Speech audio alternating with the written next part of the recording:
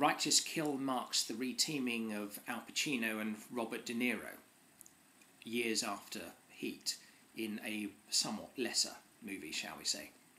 It's a cop thriller which offers really no surprises. The two of them are always a pleasure to watch. When are they not?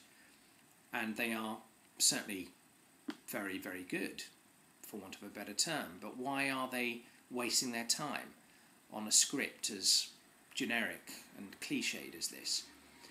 It kind of hinges on a startling twist, which you will probably guess in the first half hour or so.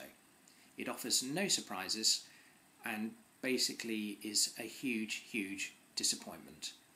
It's a shame because you kind of wish that they would do something much, much better than this, and why couldn't they have found something much better than this?